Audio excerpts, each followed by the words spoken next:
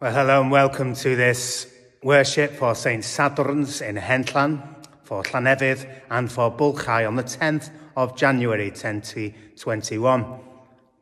As the coronavirus is spreading through um, the UK, we went into tighter measures all around the UK on Tuesday, and as a result, we had to make the difficult decision to close church just at least through January um, until hopefully people will be able to move around a bit safer um, as we come into February. So we'll review that at the end of the month. That said, this is online worship, which is made available on the social media sites and will be sent out um, by all the emails for those who don't use social media. Today is the baptism of Jesus Christ in the Anglican Church and in churches, other denominations wider.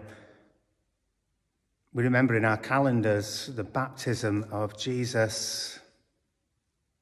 It's a time where Jesus himself was baptized by John the Baptist. John the Baptist, who pointed to Jesus and cleared the way for Jesus to come was very shocked when actually Jesus himself came for baptism as John the Baptist was baptizing others in the River Jordan. And it's the fact that God himself, born in a human being, fully God, fully human, Jesus Christ, went and immersed in the River Jordan for that ritual of baptism that as Christians we see it as a truly significant beginning of our own Christian journeys. It's good enough for Jesus, who came in human form. It's good enough for us, and it truly is fantastic. I still have my um, baptism card from when I was baptized at three, three weeks old, and I do believe actually that, that that has really played its part in my life, and it does. Any baptism plays its part in your life because it's about you. As Jesus emerged out of those waters, as John was doing the baptism, there is said to have been the sound of God that said, He's my son, the beloved, in whom I am well pleased. You are my beloved. Those words are invited to each of us that step into the rite of baptism. We're each God's beloved. And throughout our lives, once baptized, God nudges and works with us and in us. And we're invited into the community, the Christian community.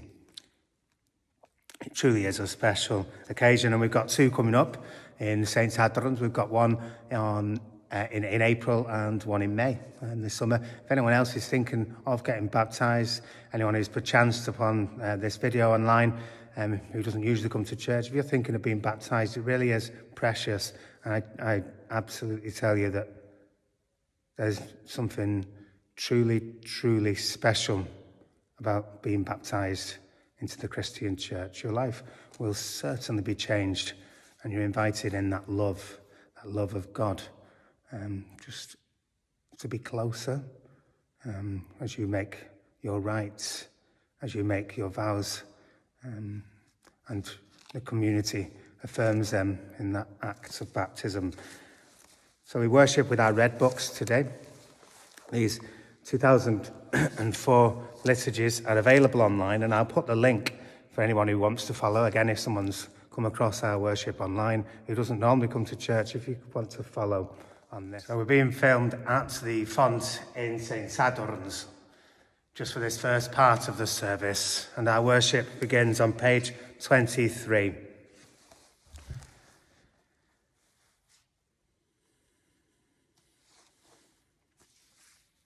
Yn yr enw tad a mab a'r. Amen. Grace and peace be with you and keep you in the love of Christ. Heavenly Father, all hearts are open to you. No secrets are hidden from you. Purify us with the fire of your Holy Spirit, that we may love and worship you faithfully through Jesus Christ our Lord. Amen. So we bring our sins to Almighty God in a time of silence that follows the Kyries. Lord, have mercy.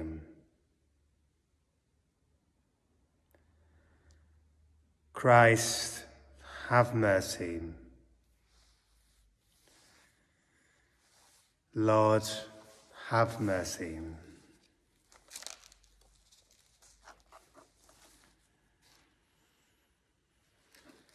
Heavenly Father, we have sinned in thought, word, and deed, and have failed to do what we ought to have done. We are sorry and truly repent. For the sake of your Son, Jesus Christ, who died for us, forgive us all that is past and lead us in his way to walk as children of light. Almighty God, who forgives all who truly repent, have mercy on you and set you free from sin, strengthen you in goodness, and keep you in eternal life through Jesus Christ, our Lord. Amen. And the collect for this baptism of Christ Sunday. Eternal Father, who at the baptism of Jesus revealed him to be your Son, anointing him with the Holy Spirit, grant that we who are born again by water and the Spirit may rejoice to be called your children through Jesus Christ, your Son, our Lord, who is alive and reigns with you in the unity of the Holy Spirit, one God now and forever. Amen. So our first reading is taken from Genesis in the beginning. In the beginning, God created the heavens and the earth. Now the earth was formless and empty. Darkness was over the surface of the deep, and the Spirit of God was hovering over the waters. And God said, Let there be light. And there was light. And God saw that the light was good, and He separated the light from the darkness. And He called the light day, the darkness He called night. And there was evening, and there was morning the first day. I'm going to pray through a psalm, Psalm 29. Ascribe to the Lord, you heavenly beings. Ascribe to the Lord glory and strength. Ascribe to the Lord the glory due to his name. Worship the Lord in the splendor of his holiness. The voice of the Lord is over the waters. The God of glory thunders. The Lord thunders over the mighty waters. The voice of the Lord is powerful. The voice of the Lord is majestic. The voice of the Lord breaks the cedars. The Lord breaks in pieces the cedars of Lebanon. He makes Lebanon leap like a calf, Sirion like a young wild ox. The voice of the Lord strikes with flashes of lightning. The voice of the Lord shakes the desert. The Lord shakes the desert of Kadesh. The voice of the Lord twists the oaks and strips the forests bare, and in his temple all cry, Glory. The Lord sits enthroned over the flood. The Lord is enthroned as king forever. The Lord gives strength to his people. The Lord blesses his people with peace. So we come to our second reading from the book of Acts, and it's Paul in chapter 19 in Ephesus. While Apollos was at Corinth, Paul took the road through the interior and arrived at Ephesus. There he found some disciples and asked them, Did you receive the, the Holy Spirit when you believed? And they answered, No, we, we have not even heard that there is a Holy Spirit. And so Paul asked, Then what baptism did you receive? And John's baptism, through John they replied, and Paul said, John's baptism was a baptism of repentance. He told the people to believe in the one coming after him, that is, in Jesus. When Paul placed his hands on them, the Holy Spirit came on them, and they spoke in tongues and prophesied. There were about 12 men in all. This is the word of the Lord. Thanks be to God. So we're going to go over now um, straight into the office of David Miller, uh, the lay reader in our mission area, Denbigh mission area. And he's going to he's, he's, he's going to first of all read the gospel, and when he's read the gospel, um, he's going to preach for us. And it's a it's a meditative sermon. It's a sermon that allows us to enter into the depths of what we've been talking about so far on this baptism Sunday of Jesus Christ. And then after that, we'll go into the Philippians Creed straight from there, which will give you the opportunity to, to speak the Philippians Creed as the words go by over the screen.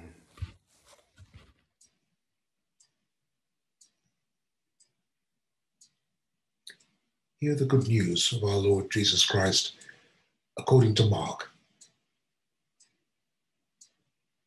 And so John the Baptist appeared in the wilderness, preaching a baptism of repentance for the forgiveness of sins. The whole Judean countryside and all the people of Jerusalem went out to him. Confessing their sins, they were baptized by him in the Jordan River. John wore clothing made of camel's hair, with a leather belt around his waist, and he ate locusts and wild honey. And this was his message After me comes the one more powerful than I, the straps of whose sandals I'm not worthy to stoop down and untie. I baptize you with water, but he will baptize you with the Holy Spirit. At that time, Jesus came from Nazareth in Galilee and was baptized by John in the Jordan. Just as Jesus was coming up out of the water, he saw the heaven being torn open and the Spirit descending on him like a dove. And a voice came from heaven You are my Son, whom I love. With you I am well pleased.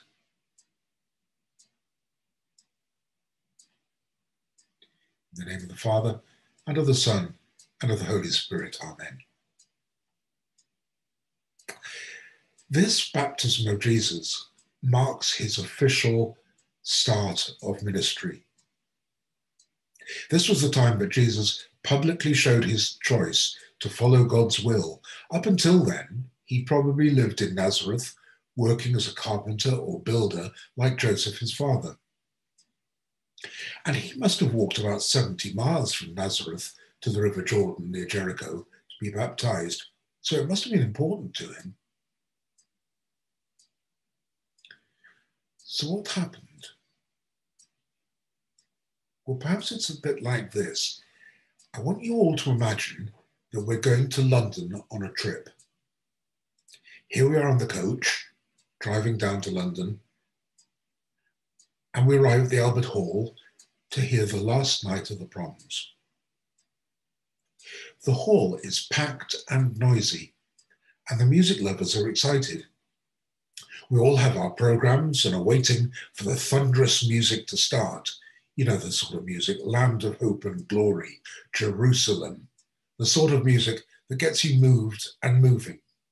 So the concert manager comes up onto the stage and in building up, he announces that the famous conductor we're all waiting for has arrived, and everyone's on their feet, full of expectation.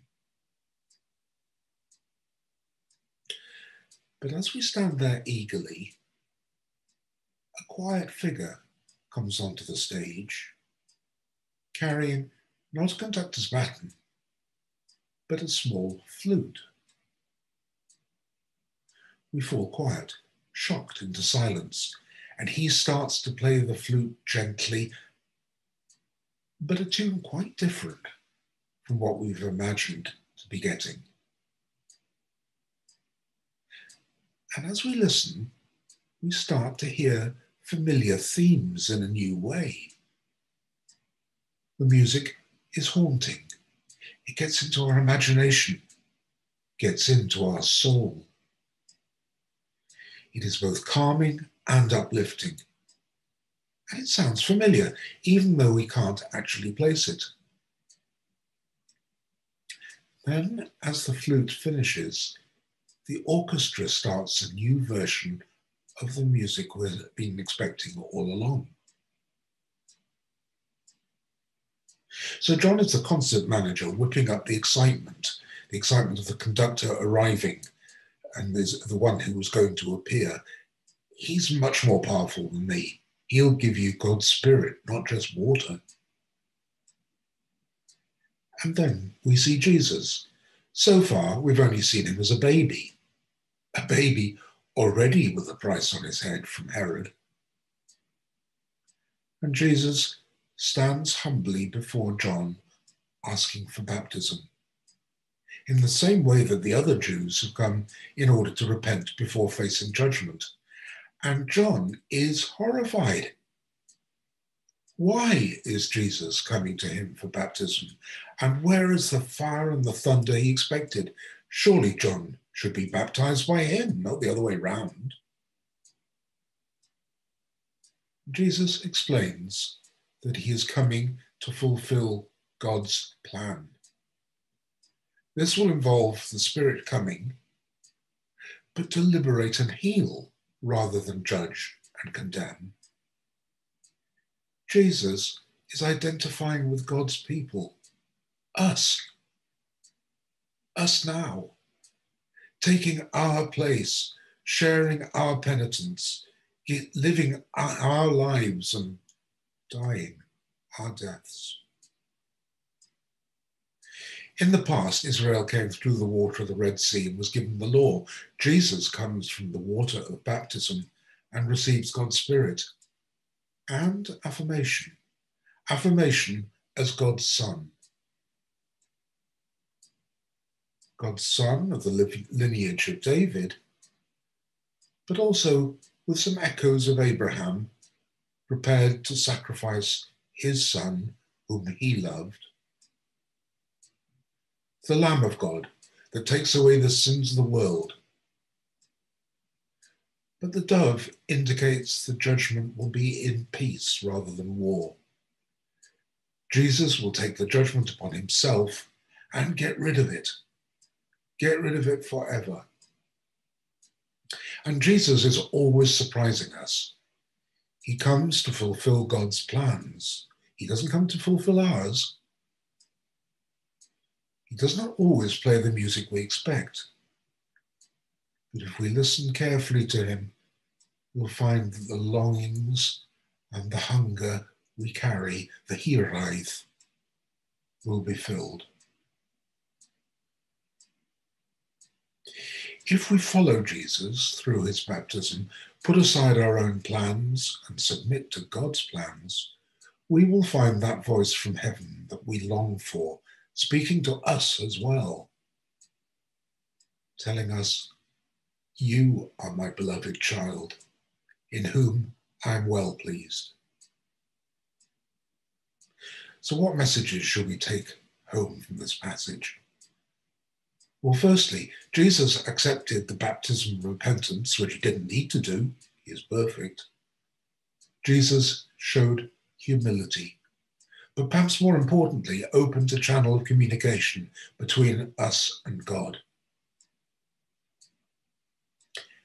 Secondly, the Holy Spirit descended on Jesus not to overcome sin, he had no need of that, but to equip him for the work in hand. We need the Holy Spirit for help in our earthly ministries. Finally, we all need to be told we are wanted, needed, and valued. We don't ever grow out of that. We need to believe we are God's beloved child and He is pleased with us, and that He will therefore protect us and He will help us, and that we're not alone. We are never alone and we don't need to carry our burdens alone.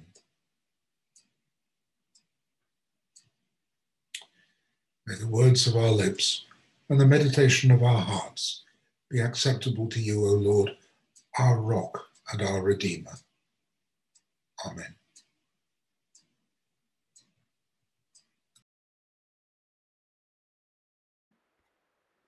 Though he was in the form of God, Christ Jesus did not count equality with God a thing to be grasped, but made himself nothing. Taking the form of a servant, he was born in human likeness. He humbled himself and was obedient to death, even the death of the cross. Therefore, God has raised him on high and given him the name above every name, that at the name of Jesus every knee should bow, and every tongue confess that Jesus Christ is Lord, to the glory of God the Father. So we come to our time of prayer. Let us pray.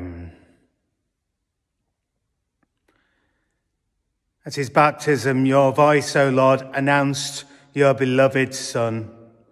May all who are baptized in his name proclaim him in word and in deed. Unite your church in the waters of new birth by your Holy Spirit. Arglwydd yn dydrigaredd, rando ein.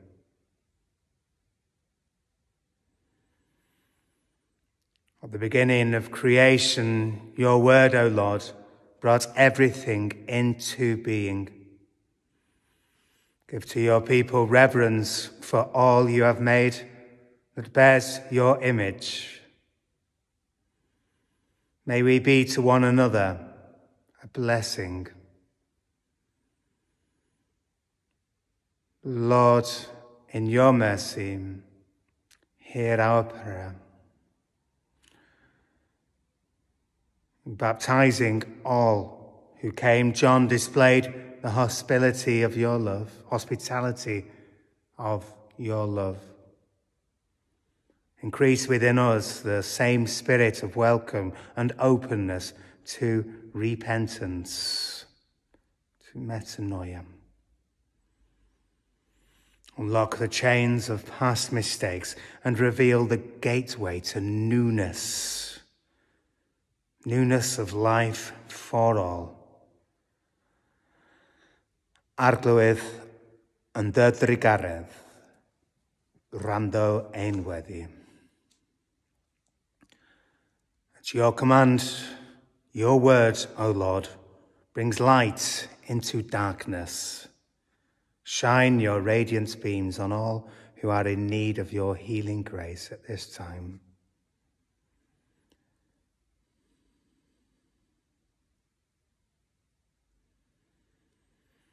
Bring us all to rejoice in your glory. Lord, in your mercy, hear our prayer. Your word, O Lord, is our beginning and our end. Into your loving purpose, we commend all who have died.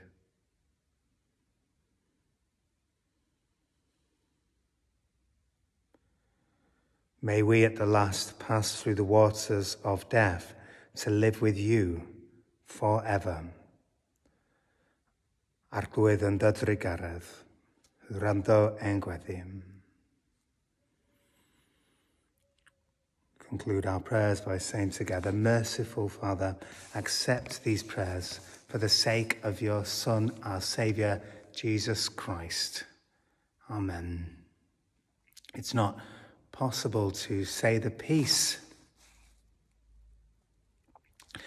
But as we've heard in our Acts reading, that Holy Spirit, as Paul put his hands on, um, and then we heard of the Holy Spirit in our gospel reading when the, the dove uh, descends on Jesus. Well, that Holy Spirit knows no boundaries, and we offer each other peace, each in our places where we worship this connected now.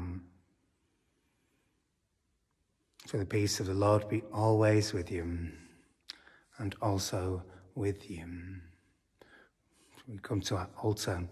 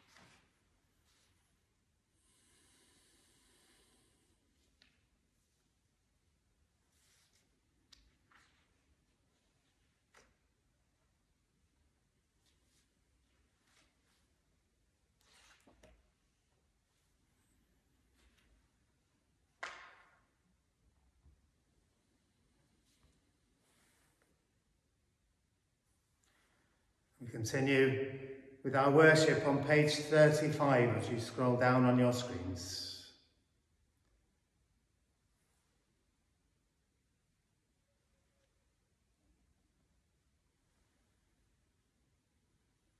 Blessed are you, Lord God of all creation.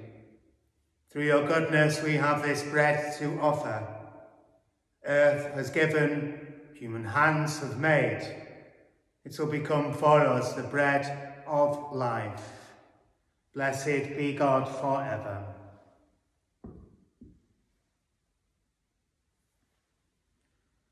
Blessed are you, Lord God of all creation. Through your goodness we have this wine to offer, fruit of the vine and work of human hands. It will become our spiritual drink. Blessed be God forever.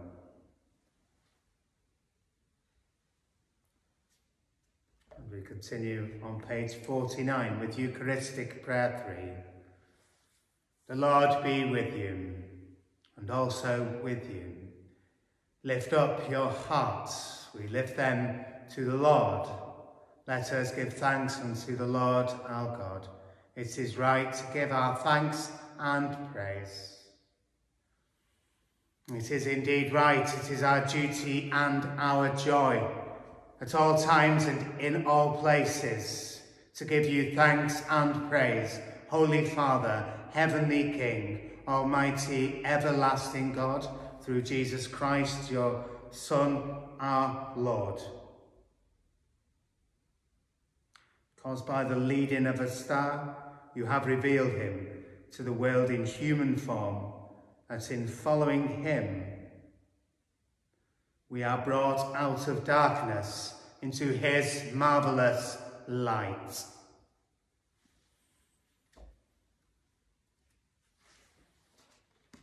Therefore, with angels and archangels and with all the company of heaven, we proclaim your great and glorious name, forever praising you and saying, Holy, holy, holy Lord, God of power and might, Heaven and earth are full of your glory. Hosanna in the highest. Blessed is he who comes in the name of the Lord. Hosanna in the highest. Hear us, Heavenly Father, through Jesus Christ, your Son, our Lord. Through him accept our sacrifice of praise. And grant that by the power of your Spirit, these gifts of bread and wine may be for us his body and blood.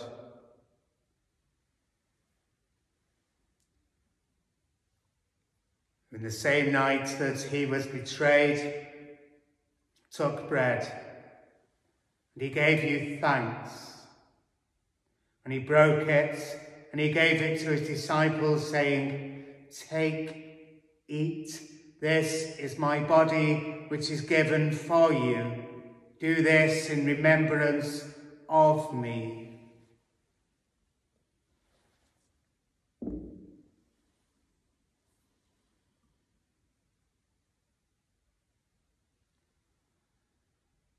yr un modd. Ar ôl swpa cymerodd y cwpan a roi ddiolch i ti. Neu ddrododd iddynt gan dweud, o fwch o hwn bawb, oherwydd hwn yn waed i, Gwaed y cyfamod newid, a dwell hedd drosoch a thros llawer, a meddaiant berchadau, gwnewch hyn bob tror o fy chef er cof am danaf.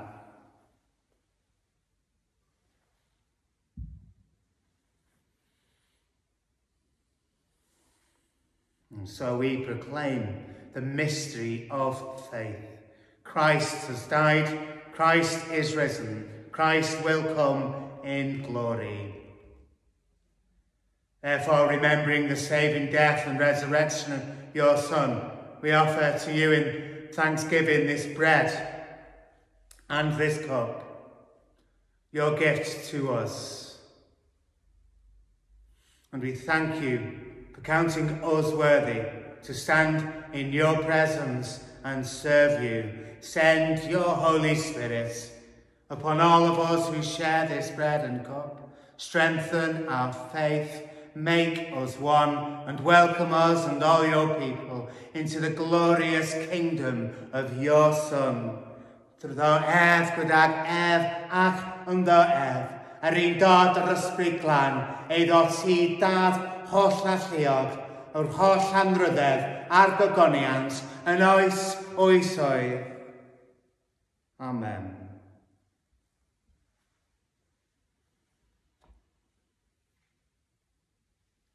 Those following on the screen. Will scroll down to 77. As we pray the prayer taught to us in the language of our choice.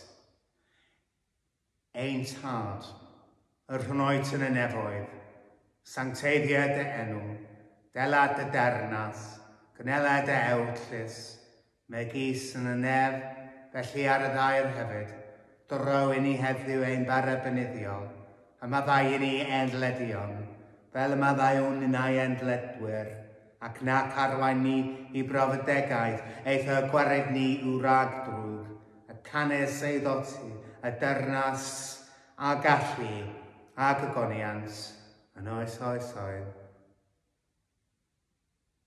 Amen.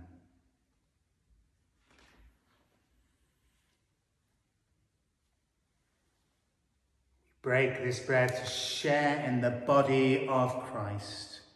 Though we are many, we are one body, for we all share in one bread. Jesus, Lamb of God, have mercy on us. Jesus, bearer of our sins, have mercy on us. Jesus, Redeemer of the world, give us your peace.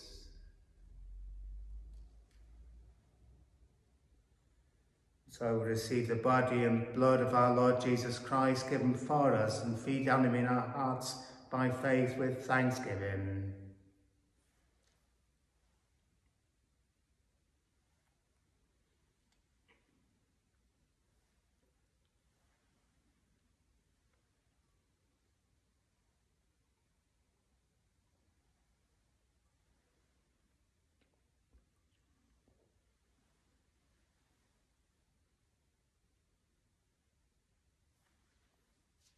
For those unable to receive, as I said, the boundaries, there are none.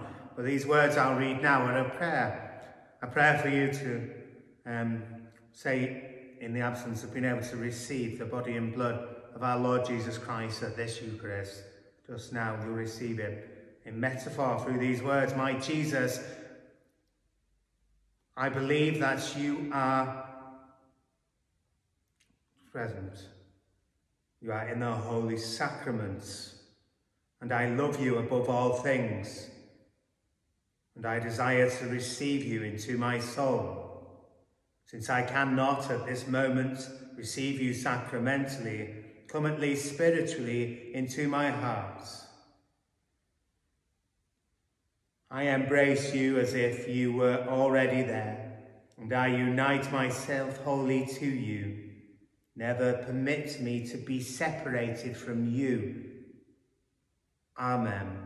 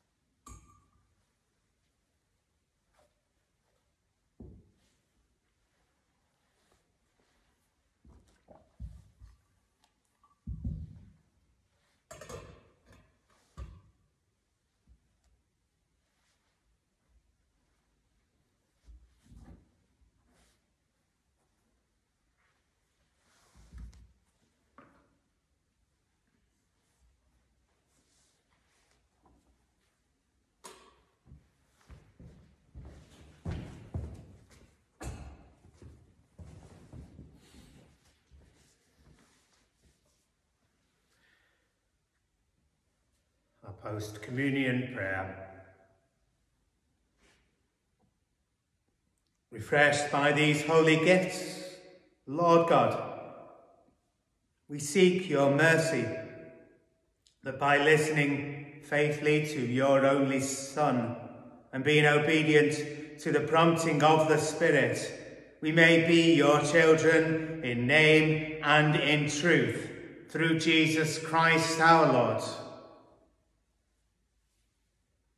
Amen. And the prayer at the bottom of 83, God of truth, we've seen with our eyes and touched with our hands the bread of life.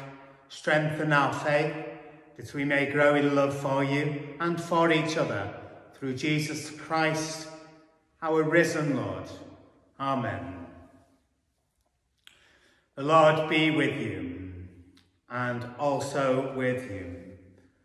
Christ, the Son of gladden, gladden your hearts, the Son of God, gladden your hearts with the good news of his kingdom. A bendith diw o llalliog, y tad, y mab ar ysbryd glân, a faw yn eich plith ac y drigo gyda chwi yn wastad. Amen.